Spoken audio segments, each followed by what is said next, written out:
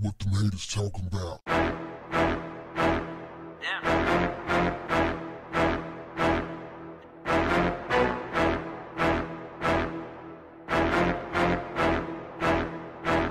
What's up, family? There's a guy in Mexico who's running for president.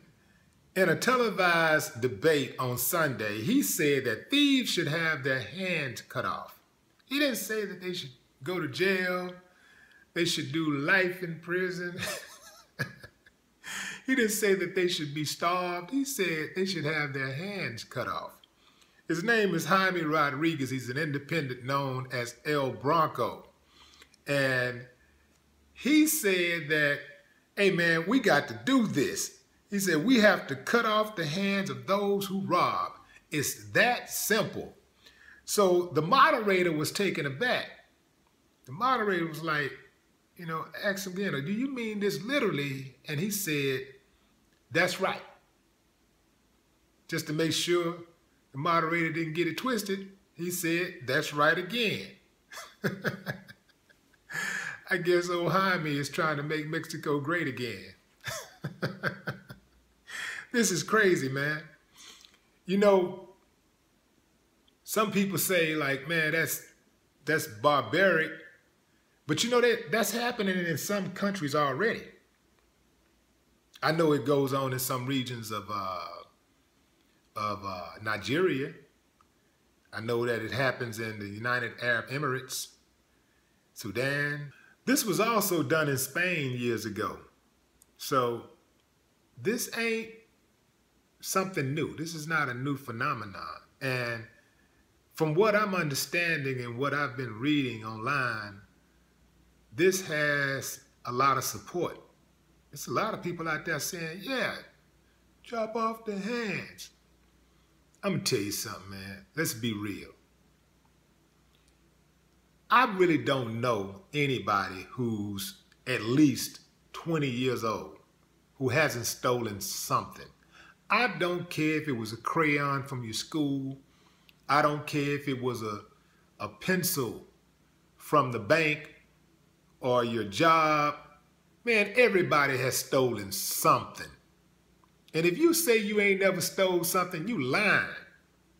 Everybody has stolen something. Man, nobody would have hands if they really followed the ladder or, or, the law to the ladder. No one would have hands.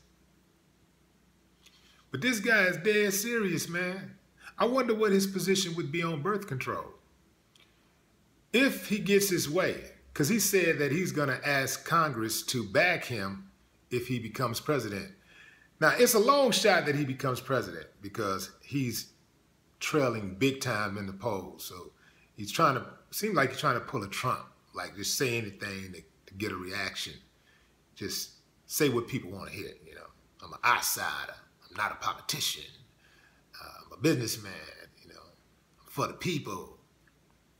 Say what I really, really feel. But what is he going to do to people who lie? Is he going to cut their tongues out? Is he going to cut off the penis of rapist? You know, castrate him? I mean, is there, will there be an end to this? So I think before people start jumping on that bandwagon, they need to consider these things. Oftentimes, when there's an horrific crime, uh, and I don't know if I, I can think a lot of things that are more horrific than stealing. But then it, it depends on what level you're stealing. If you're doing some Enron type stealing where you bankrupt people's 401ks, you know, you you you uh, pillage people's pension funds, and you know, you're basically destroying lives. You know, people money people work for all of their lives, and you just went in there and stole the money. Uh, that's that's pretty that's pretty barbaric to me. Okay, now here's the sixty-three thousand dollar question. I don't know why people say sixty-three. Why isn't it seventy-three or sixty-four? You know, whatever. What if they did something like that in America? America would not Nah, I was about to say America wouldn't have all the crime it has. I beg to differ.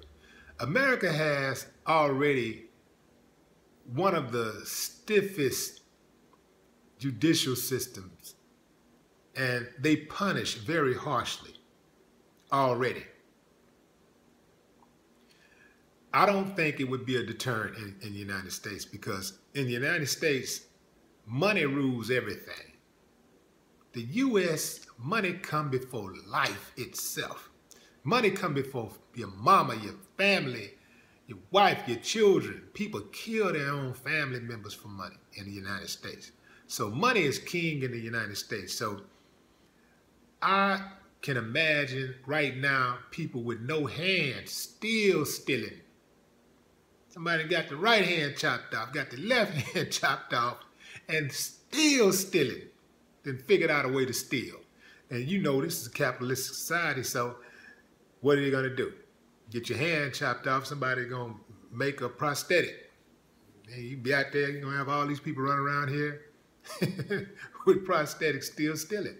Because there's something wrong with America's moral compass. You dig what I'm saying? And that is a collective thing. So I don't think that that would be much of a deterrent in the U.S. But I just can't help but wonder if they did that in the United States to politicians, who would write the laws in Congress? I'll give you a minute to think about that. No more talk. What, the haters talking about?